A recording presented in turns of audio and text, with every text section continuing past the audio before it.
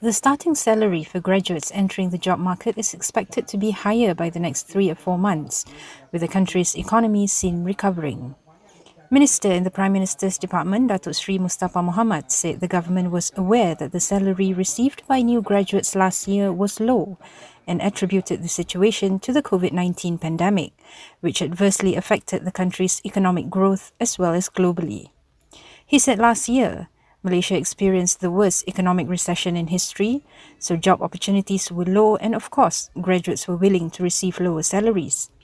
He said it had been the government's aspiration to create more quality job opportunities so that newly employed graduates can enjoy higher salaries.